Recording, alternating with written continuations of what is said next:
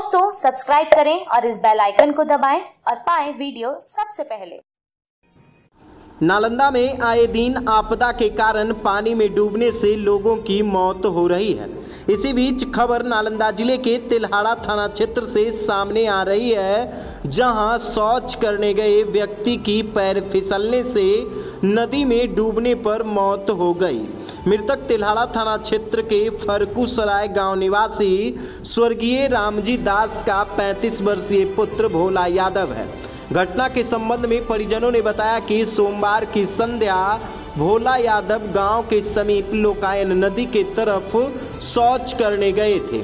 इसी दौरान पैर फिसलने से लोकायन नदी में डूबने से उनकी मौत हो गई। देर तक घर नहीं लौटने के बाद रात में परिजन खोजबीन करना शुरू कर दिए। इसी दौरान मंगलवार की सुबह नदी में ही उनका शव पानी में छहलाया हुआ मिला।